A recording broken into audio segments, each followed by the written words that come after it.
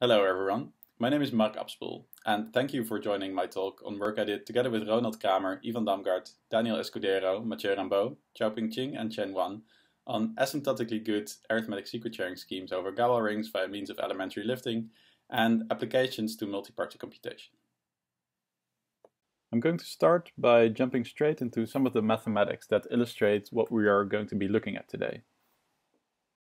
Let's take the ring of integers modulo a prime power p to the k. From this ring, we get a homomorphism pi to the finite field of order p. This homomorphism is surjective, so if we take any element a in the finite field, then there exists a lift b in the ring upstairs such that the projection downward of B equals A.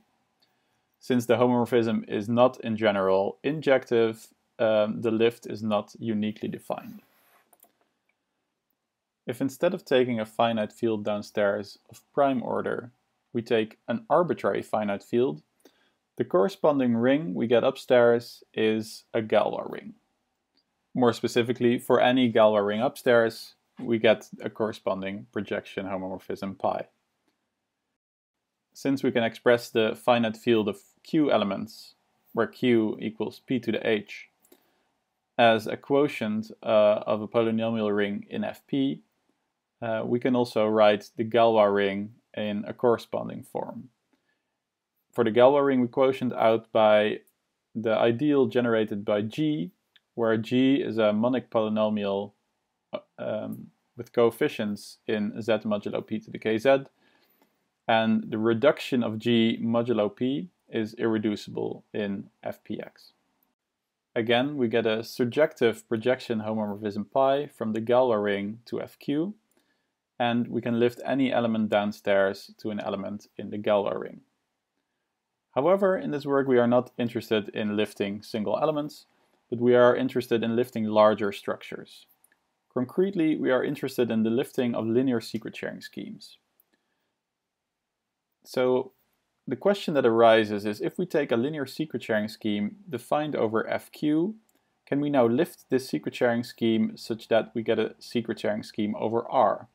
And if so, what properties of the secret sharing scheme are preserved by this lift?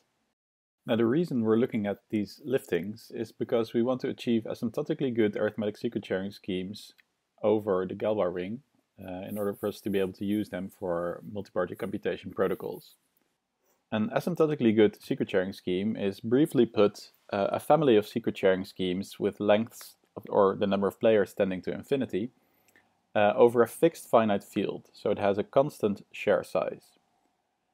Using this, we should be able to get uh, a linear complexity multiplication protocol, which is optimal you might think why, why not use Shamir scheme is, is because it's in fact not asymptotically good. Um, so in Shamir scheme, the number of players is bounded by the field size, which for fields is not too much of a problem in practice because usually in MPC you're computing over a large field, usually a, a large field of prime order.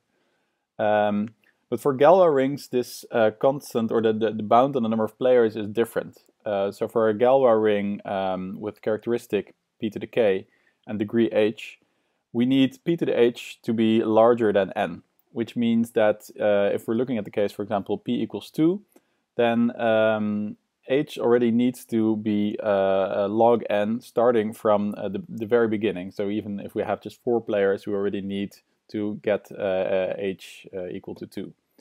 For information theoretic multi-party computation protocols, we basically have two regimes. We have the adversary corrupting less than a third of the players, or the adversary corrupting less than one half of the players. For the adversary corrupting less than a third of the players, we are able to achieve perfect security, so zero, zero error probability. This requires strongly multiplicative secret sharing schemes.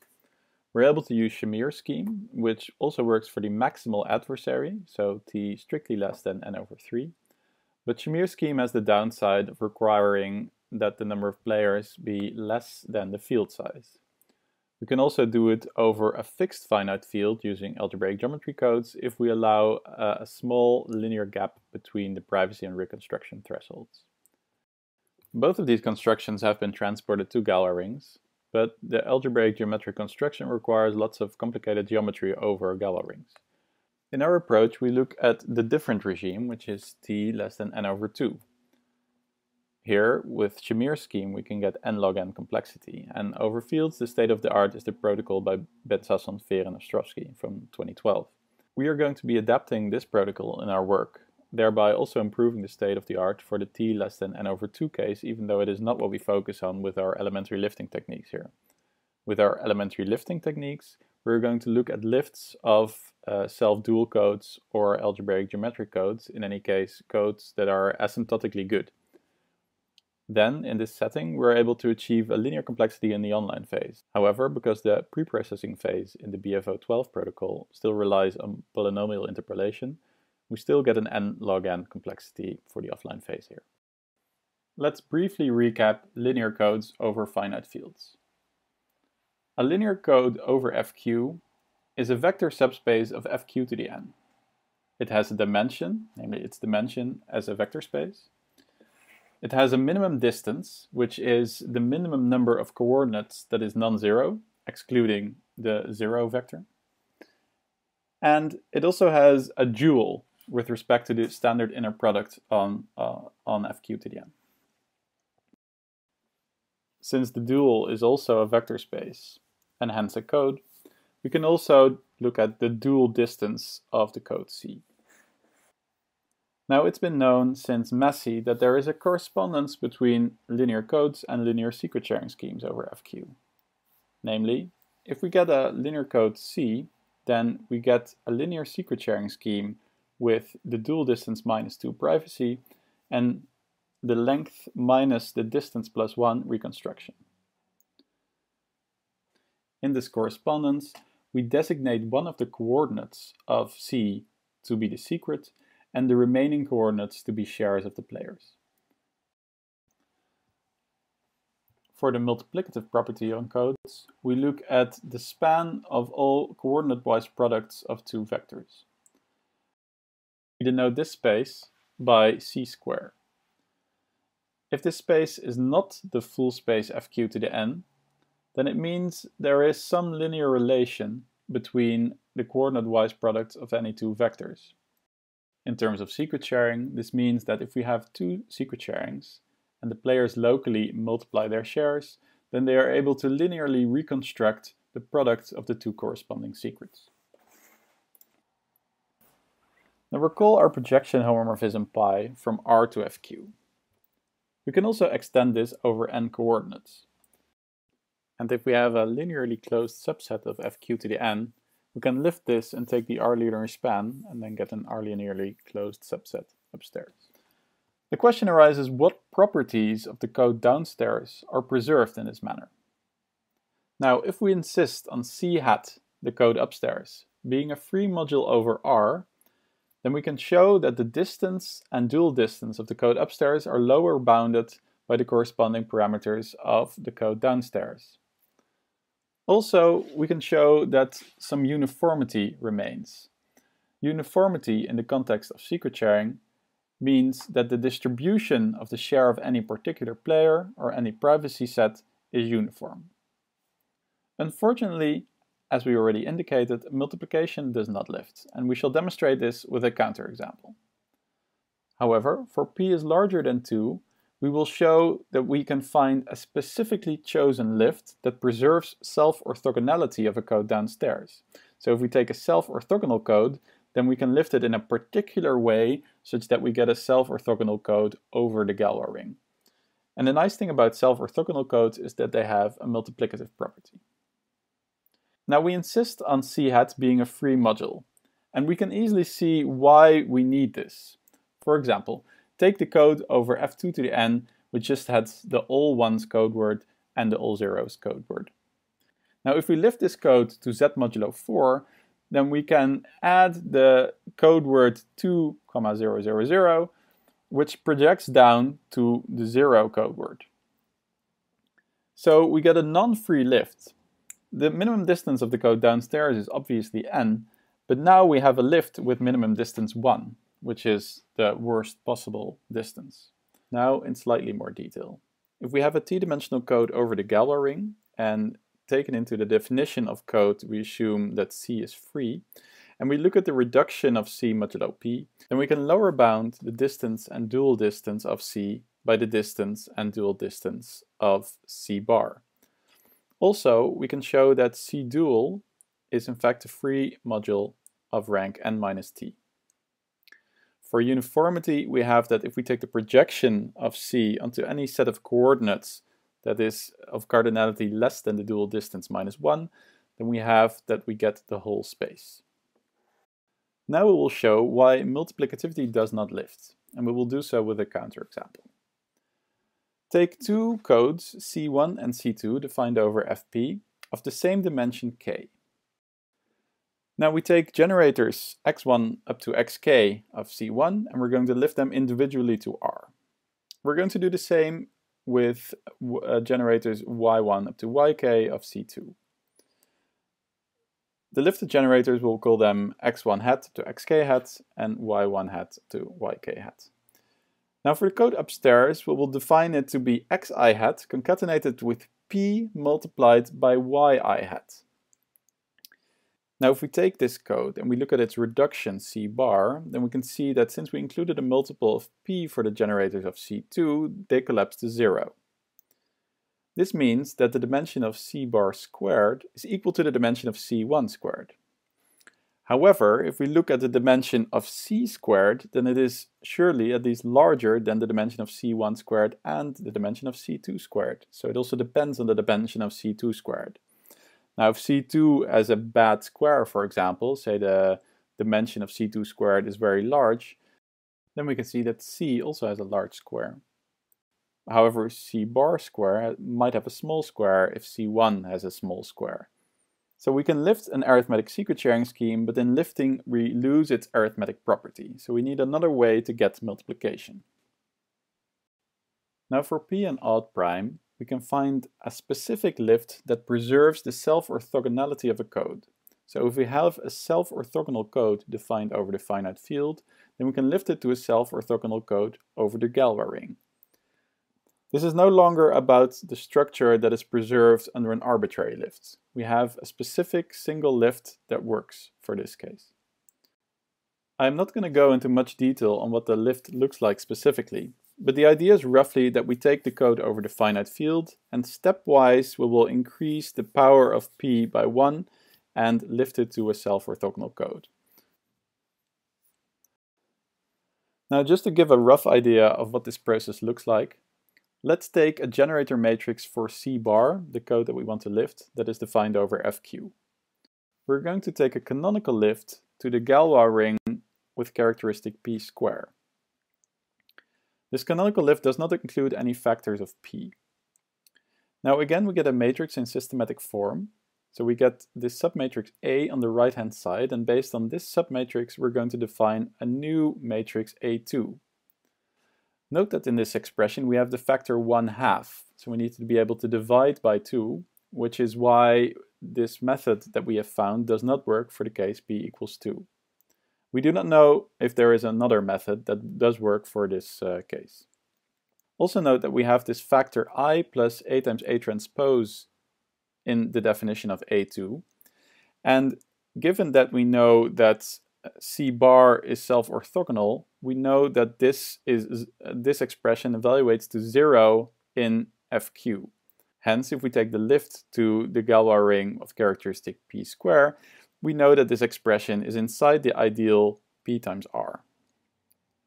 This means that if we reduce a2 modulo p, then this entire second term evaluates to zero. Hence, if we look at the code with generator matrix i and a2, if we then reduce it modulo p, then we again get our original code c bar. Now we can show that the code we have generated just now is self-orthogonal, and to get the self-orthogonal code over R, we simply repeat this process.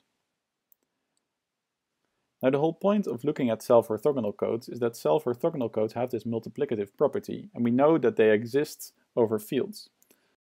As we have shown, our method for lifting self-orthogonality does not work for the case p equals 2. So we need a different way to get multiplicativity. We will use an existing technique where we take secret sharings in both C and C dual. Since we know that the inner product between a vector in C and a vector in C dual is zero, we have a linear relation of the coordinate-wise products of these two vectors, which is precisely what we need for multiplicativity. The downside of this approach is, of course, is that it doubles the share size. With these results about lifting codes from finite fields to Galois rings in hand, we now apply them to what we already know to be true for codes over finite fields.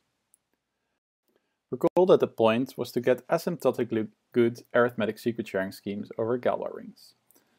Now we define slightly more precisely what we mean by this.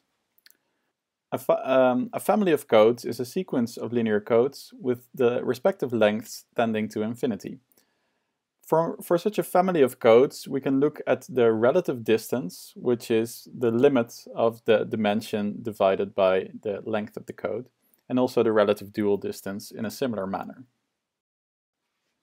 For fields, we, can, we know that there exists a family of codes with the relative distance and relative dual distance approaching one half.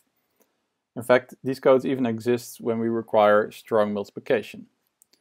Also, a family of self-dual codes exists, also attaining these bounds. Given what we now know about lifting, we can simply take such a family of codes defined over a finite field and lift each code individually to R. The parameters will follow from what we discussed in the previous slides. And to get multiplication for the family of codes that we have lifted, we use either for p greater than 2 the self-orthogonality trick, or for p equals 2 we use the trick where we secret share using both C and C dual if we want an asymptotically good arithmetic secret sharing scheme. With these results about asymptotically good arithmetic secret sharing schemes over R, we now look at the communication complexity of multiparty computation over R. We're going to look at information theoretic MPC with a computationally unbounded adversary that corrupts less than a fraction 1 half minus epsilon of the players. Additionally, we assume a broadcast channel, which is needed in this setting, and uh, we are in the model of statistical security. Now there are three specific settings we consider. First, we consider passive security, second, active security with abort, and third, the best model full security with guaranteed output delivery. So the adversary cannot do anything to disturb or alter the computation and it is guaranteed to finish. Recall that in Shamir secret sharing scheme based MPC, we always have an n log n communication complexity, where the log n is due to needing to move to a larger Galois ring in order to accommodate an increasing number of players. However, with asymptotically good secret sharing schemes, we can actually get a linear communication complexity, as we shall see. This factor 1 half minus epsilon, instead of just 1 half, comes from the fact that we need a linear gap between the privacy and reconstruction thresholds for these asymptotically good secret sharing schemes. For Shamir scheme, we would be able to tolerate up to one half of the players. However, then it is inherent that we need the size of the shares to grow with the number of players. For passive security, we generate random double sharings in a preprocessing phase, which are sharings of the same random element r in both c and c squared. To then multiply two elements in the online phase, we simply take local products of two secret sharings and then use these random double sharings to move from a sharing in C squared to a sharing in C. One problem that arises is that Vandermonde matrices that are invertible and are of sufficient size do not necessarily exist over R. A solution here is to move to an extension of Galois rings. For active security with abort, we simply take the passively secure protocol from the previous slide. Then we use an existing compiler to compile this passively secure protocol to uh, a protocol which is actively secure with abort. We can do this because the protocol from the previous slide is not just passively secure, but it is also actively secure up to additive attack.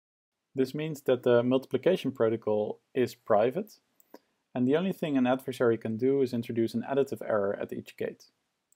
The compiler then works by taking secret sharings x and r times x and keeping this as an invariant, where r is a secret random value that is the same for the entire circuit. At the end, it will be verified whether the output sharings satisfy this form. Everything basically just works using this existing compiler, and the result is a protocol with linear communication complexity per multiplication.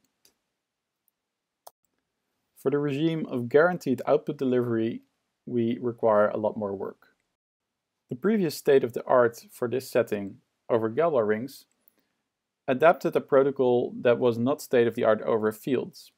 It has a communication complexity of n square log n, and it was chosen because it simplified the exposition of the other techniques that were needed to adapt Shamir secret sharing scheme to Galois rings.